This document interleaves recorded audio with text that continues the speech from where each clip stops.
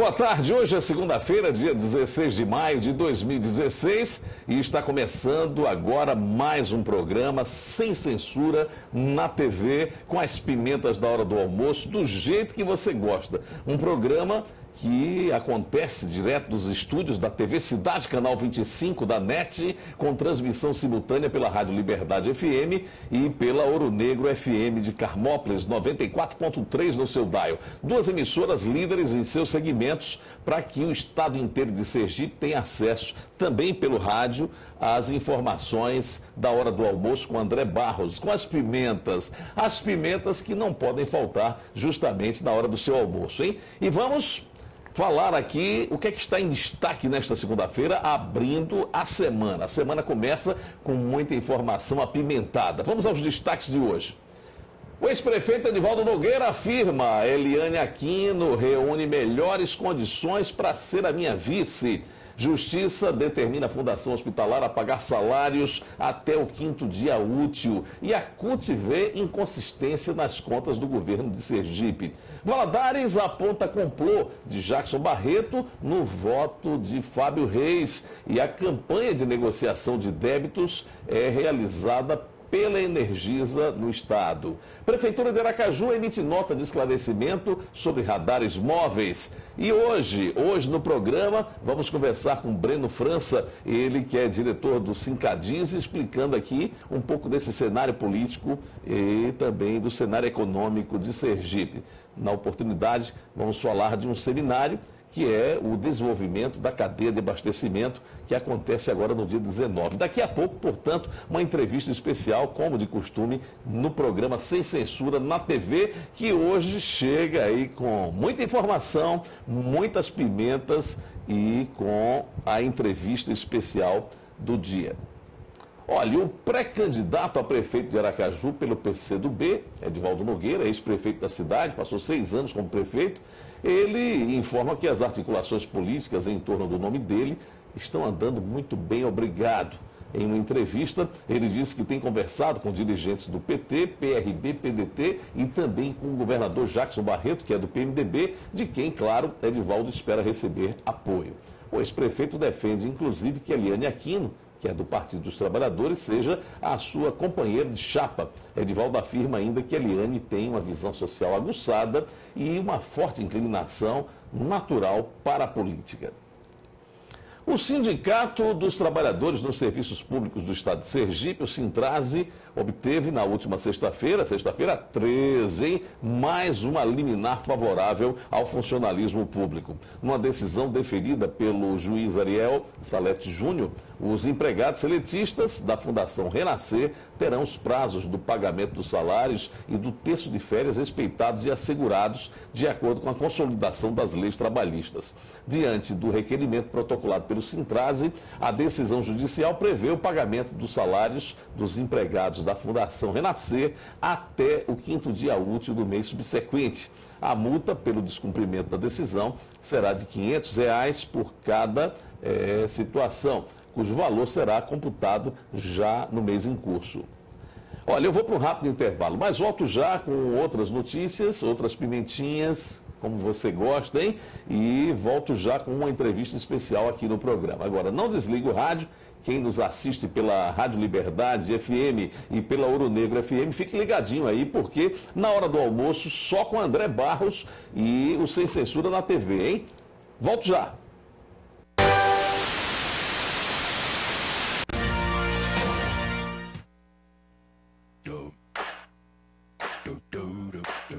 Dicas e ofertas está na Saman Rio Mar e hoje a gente vai falar de um carro muito especial, não é isso, Marcos? Perfeitamente. Hoje vamos ter o prazer de andar e conhecer a nova Fiat Toro.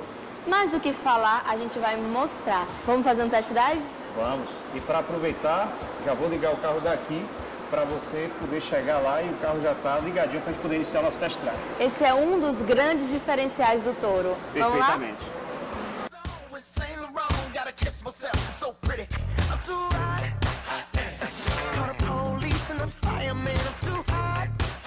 Marcos, fala um pouquinho do Toro pra gente. É, hoje, a, esse caminhonete Toro que a gente está tendo o prazer agora de, de você estar andando e estar vivendo a vida a bordo desse carro, você vai perceber que ela é muito diferente das demais caminhonetes, porque hoje ela está num segmento que é um segmento totalmente novo para o mercado brasileiro. É, hoje é, a Saman tem uma excelente condição de venda para quem é produtor rural, ah, não só produtor rural, mas para quem também tem empresa, né? Porque esse carro hoje ele veio para atingir todo esse mercado, né? Não só a parte varejista, que é o cliente particular, né? O que vai usar para o dia, dia a dia, para o lazer dele, mas também para o empresário que precisa de um carro para trabalho, o produtor rural que precisa do carro para se locomover até a sua propriedade. E nós temos descontos realmente interessantíssimos. É, descontos que chegam de 7 até 8 mil reais nas versões diesel 4x4. Se você também quer conferir as dicas da Saman Rio Mar, é só vir aqui no endereço Avenida Delmiro Gouveia, número 600, bairro Coroa do Meio. Quer uma dica? Vem, Vem pra, cá. cá.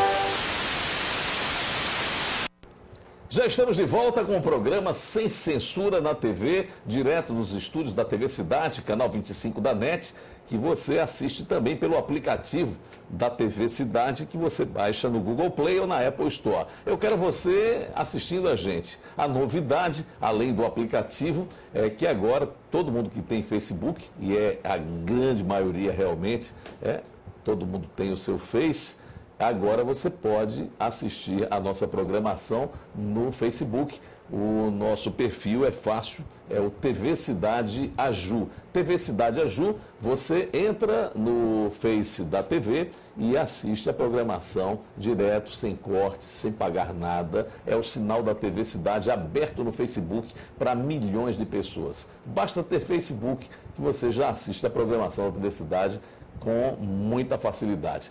Aqueles que querem o aplicativo também é muito bom. Hoje, quase 100 mil pessoas já fizeram download do nosso aplicativo, o que nos deixa muito envadecidos. Né? É muito bom saber que o Sergipano gosta da TV Cidade, que o Sergipano está aí ligadinho nas notícias de Sergipe. Aliás, é a única emissora que praticamente só fala de Sergipe. 99% dos temas tratados aqui são temas é, relativos ao estado de Sergipe.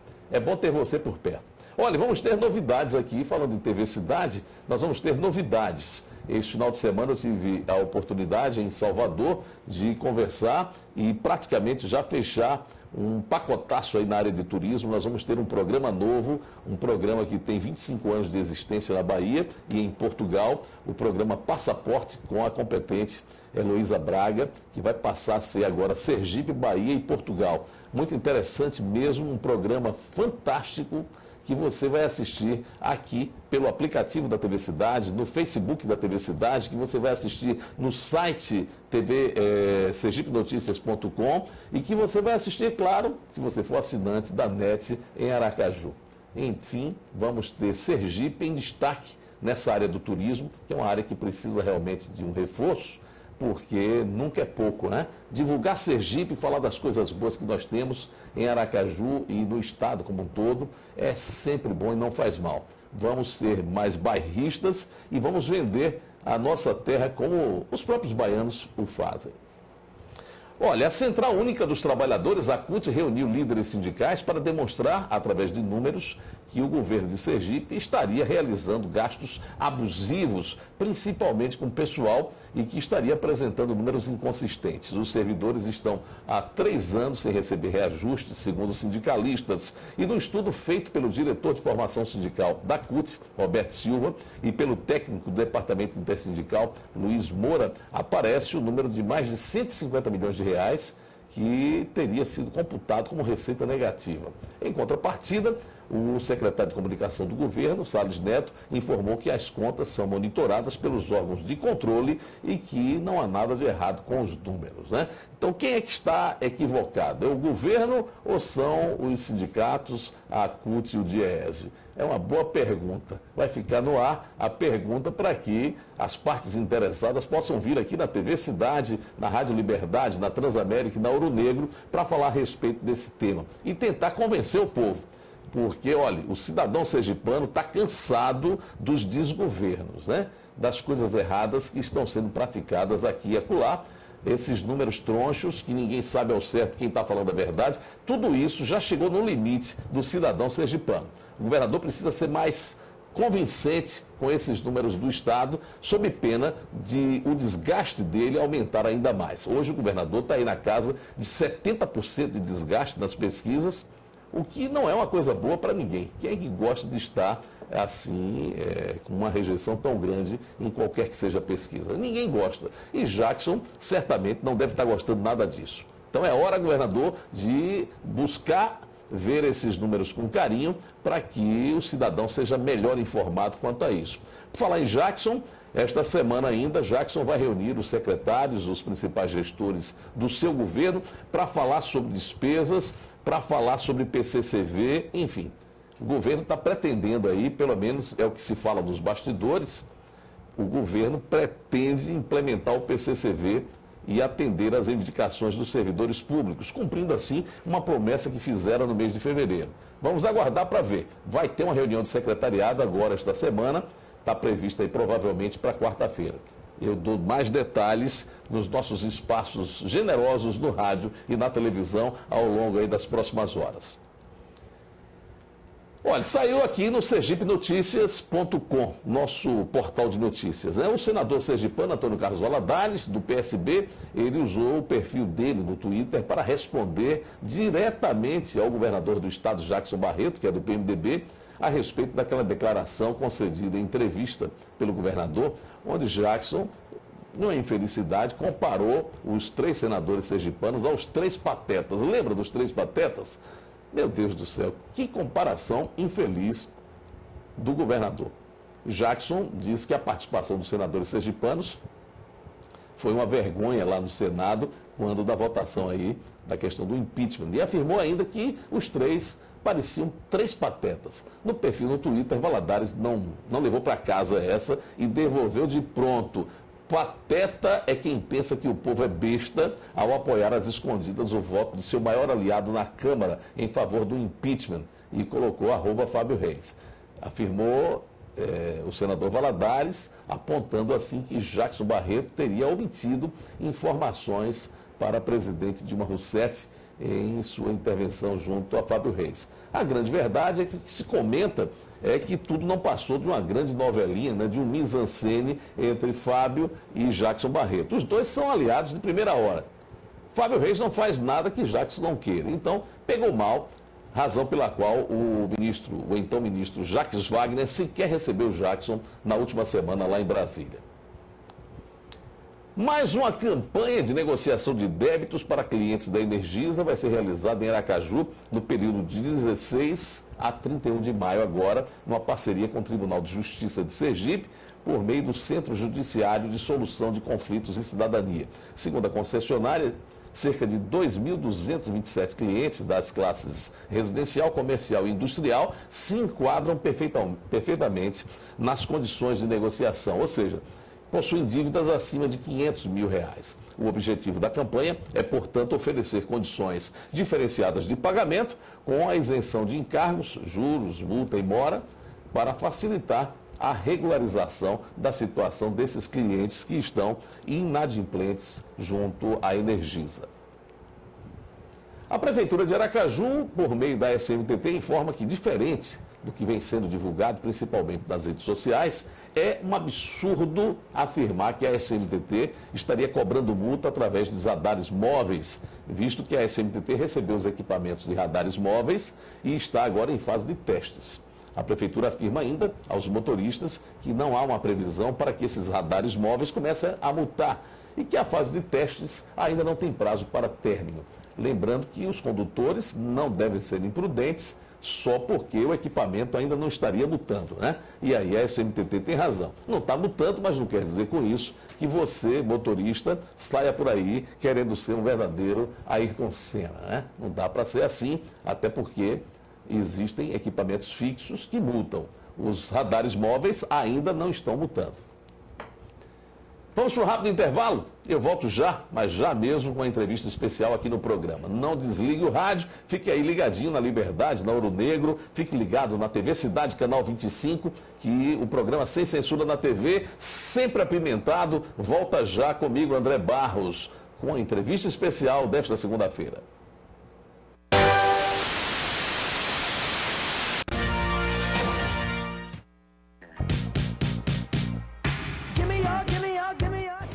Estamos de volta na Quality Coros e hoje a gente vai falar para você que quer dar um presente para aquela pessoa super especial. A gente tem uma dica para você, não é mesmo, Eliton? É sim, Jéssica. Inclusive a gente está com uma linha espetacular, a linha da Fenzo, a linha da Zork, a linha da Shenson, a linha da Cheros. Inclusive está com descontão especial, viu?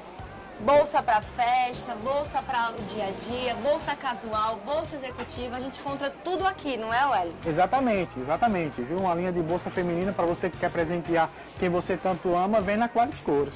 Mas para estar no Dicas e Ofertas, tem que ter oferta. O que, que você vai dar para a gente hoje, Wellington? Então, Jéssica, a gente vai dar até 20% de desconto ao cliente que assistir essa propaganda. Quer dizer que eu posso escolher uma bolsa e ter até 20% de desconto? Exatamente. Vem na Quality Couros, diz que você assistiu na TV Cidade, você tem até 20% de desconto nas bolsas aqui. Passa o endereço pra gente, Wellington. É Rua Geru 87. Quer uma dica? Vem pra cá. Vem pra cá.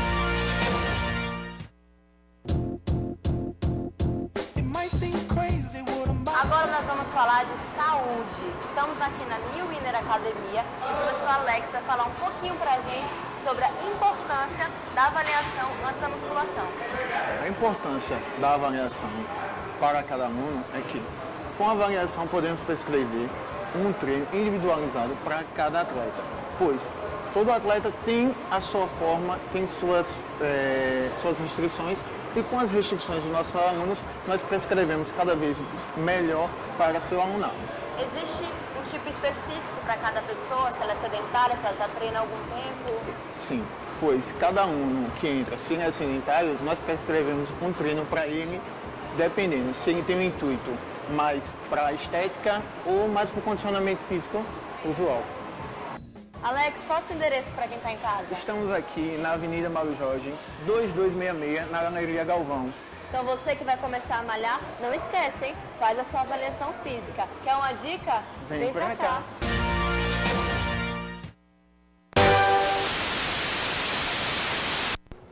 Já estamos de volta com Sem Censura na TV. E o assunto agora é um assunto que tem sido destaque nas principais emissoras de televisão pelo Brasil afora é o momento econômico. Vamos falar de economia um pouco, abrindo essa semana, porque tem gente preocupada, tem gente mais descansada, dependendo da área em que atua. Agora, certamente, independente da área em que você atua, você precisa estar atento. Né? Por falar nisso, eu quero chamar a atenção que amanhã, amanhã à noite, amanhã às 19 horas e 30 minutos, eu vou estar com um grupo, um grupo especial falando de empreendedorismo lá no Hotel Real Classic, ali na Orla de Atalaia. Um excelente lugar para você poder é, participar de um evento, para você ter a tranquilidade para colocar a cabeça no lugar e avaliar oportunidades de empreendedorismo. Amanhã nós vamos ter pessoas falando a respeito dessa área para você sentir como é que está Sergipe nisso aí e nós vamos levar lá é, de forma especial é, um empresário que vai tratar de um tema que vai interessar de perto aquelas pessoas que queiram ter uma franquia própria, pessoas que queiram avançar é, ao invés de ficar chorando, né? Pelo leite derramado. Vamos aproveitar. Crise existe, sempre existiu. O Brasil sempre passou por crises uma atrás da outra. Agora, a gente precisa ter um pensamento positivo e uma ação é, proativa. Amanhã, portanto, lá no Hotel Real Classic. Vocês estão convidados. É, é, bom que façam a reserva antecipadamente, porque as vagas são limitadas, né? Vamos ter especialistas falando de empreendedorismo e vamos ter uma oportunidade sem igual para aqueles que queiram empreender aqui no estado de Sergipe. Mas vamos falar mais da economia. Olha, em um momento no qual o setor comercial em Sergipe atravessa aí uma crise, como outros setores também, claro, também passam por dificuldades, houve queda significativa no volume de vendas do comércio varejista atacadista, o cálculo é de menos 22,9% no comércio ampliado. O Sindicato do Comércio Atacadista e Distribuidor de Produtos Industriais de Sergipe, o Sincadize, vai aproveitar também para promover um evento oportuno para os empresários. Vai ser agora no dia 19, vai ser esta semana. E aqui comigo o Breno França, ele que é diretor do Sincadize, para falar mais sobre o evento. E eu digo, ó, tem que ter eventos mesmo, a gente tem que falar sobre esse tipo de coisa, a gente tem que chacoalhar o empresariado ou aquele que queira empreender para que as coisas sigam um rumo diferente. Boa tarde, Breno. Seja bem-vindo. Obrigado. É, eu digo isso porque a gente tem que ter uma postura realmente. Há uma crise, há uma queda de vendas, há uma retração do comércio, mas a gente não pode cruzar os braços, não é mesmo? É verdade, André. Boa tarde a todos os telespectadores. O Sindicato Atacadista, em parceria com a ASIA, a Federação do Comércio, está é, promovendo o seminário para desenvolver a cadeia de abastecimento no próximo dia 19, na quinta-feira, no Teatro Tobias Barreto. Vão, vão haver duas palestras. Certo. Uma política, é, quem vai falar é o presidente da Federação do Comércio, o deputado Lécio Oliveira. Ele vai abordar o cenário político local e do nosso país. E também vai haver uma outra palestra com o consultor Marcos Aurélio, da consultoria GFK, onde ele vai estar abordando temas para fortalecer a cadeia de abastecimento em nosso estado. E tudo isso, André, leva justamente em consideração esse momento econômico que o Estado e o Brasil vêm vivenciando e o sindicato buscando, em parceria com a Ásia, a Federação do Comércio, trazer é, pessoas capacitadas para fomentar o, a parceria entre o atacado distribuidor e o varejo independente e também levar novos conhecimentos para que esse cenário de crise ele não se perpetue por muito mais tempo, né? que a gente saia dele é claro. quanto antes. É claro, e aí, veja bem, é, é o que eu digo. É, a frase não é minha, a frase velha, né? Na, na, crise, ou você chora ou vende lenços, né? É verdade. Eu acho que chegou a hora da gente vender lenços. Até porque se todo mundo tiver uma, uma postura proativa, o Estado, como o nosso Estado de Sergipe, tem aí uma classe média com média salarial perene, enfim, é um estado que tende a se sobressair mais que outros estados na recuperação de qualquer crise que esteja posta no Brasil. É verdade, André. Vocês, pelos números, esse número que eu passei há pouco, é menos 22 de, de queda, é isso não? É, no setor atacadista distribuidor, a gente é monitorado pela consultoria em nível nacional onde ela apresenta outros números. Né? Ela fala que realmente está havendo uma perda de volume de vendas, mas a inflação ela acaba compensando certo. o faturamento nominal. Quer dizer, a inflação aí de 7%, 8% acaba é, compensando o que se fala em termos de perda com o de número volume. de volume, não é isso? Exatamente. Quer dizer, também, olha, não adianta. É, queda de, de vendas, seja, primeiro semestre do ano, também é um período onde se tem assim um volume de vendas fantástico, né? Na área do, do, do, atacado, eu não sei, mas na área do varejo, certamente o segundo semestre é muito melhor, é superior ao primeiro, né? O que, é que você tem a dizer sobre isso? É, o setor atacadista, ele engloba vários, várias linhas de produto, né? É, principalmente a linha de alimentos. Então, a gente, durante o ano todo, tem uma venda significativa mas como eu havia falado há pouco, André, realmente houve uma queda no volume de vendas e a tendência é que ela venha se recuperando aos poucos. Em comparação ao ano passado, o mês de abril ele já teve uma recuperação e a gente acredita que durante esse mês de, durante esse ano de 2016, desculpa, o setor atacadista distribuidor vai voltar é, a ter um, um, um, ótimo desempenho no Brasil e aqui no estado de Sergipe também. É, um, um fato interessante, que eu vou aproveitar a sua presença, presidente, é, eu soube que os, os, atacados estão se sobressaindo de forma melhor do que as próprias redes de supermercados. Isso é verdade? O varejo está vendendo menos em relação às empresas que são atacadistas. O, o brasileiro, o sergipano, ele despertou para a importância de comprar num, num atacado, é isso? Está acontecendo esse fenômeno? Está acontecendo. De fato, André, o que aconteceu nos últimos tempos foi uma mudança do hábito do consumidor. Ele deixou de fazer aquelas visitas semanais nos supermercados próximos da sua casa e passou a fazer compras quinzenais ou até mensais, justamente para tentar economizar mais diante do cenário de crise. Então, aproveitando essa oportunidade, redes nacionais e também locais vem investindo no modelo de atacado chamado de atacarejo, né? porque realmente vem havendo essa migração do cliente do varejo para o cliente do atacarejo. Então, é um segmento que vem crescendo bastante, né? mesmo no momento de crise, vem se destacando de fato, você tem razão suas colocações. E aqui no estado de Sergipe a gente vem observa observando que algumas é, redes locais vêm investindo nesse setor de atacarejo. É, inclusive, inclusive, nós estamos recebendo aí, já estão em negociação, a rede, a rede que uns chamam açaí, outros açaí, é, já está para se instalar aqui em Aracaju e também a Leroy Merlin, que também já se já negocia espaços nobres aqui em Aracaju para poder se instalar. Então é uma prova de que o atacado realmente ele está mais agressivo, né? É verdade. Quem tiver seus supermercados, que fique atento. Né? É, procurar inovar né, e aproveitar aí mais uma vez esse encontro agora no dia 19 para estar tá se atualizando, estreitando o relacionamento com o seu fornecedor, atacadista, distribuidor, para procurar realmente soluções criativas para que nesse momento de dificuldade né, a gente possa juntos estar tá criando soluções para que o supermercado de varejo, o independente de, de vizinhança, melhor falando, não perca tantas vendas. Né? Pelo contrário, que ele consiga recuperar parte do faturamento que ele perdeu no ano 2015. Com certeza. É, eu falo isso até porque eu tenho visto, eu acompanho muito o mercado, eu não fico sentado. As pessoas dizem, ah, a Rede Cidade é uma rede que está crescendo, divulga bastante, tem muitos clientes privados. E eu quero dizer isso aqui de público, né? As pessoas sabem, a gente trabalha.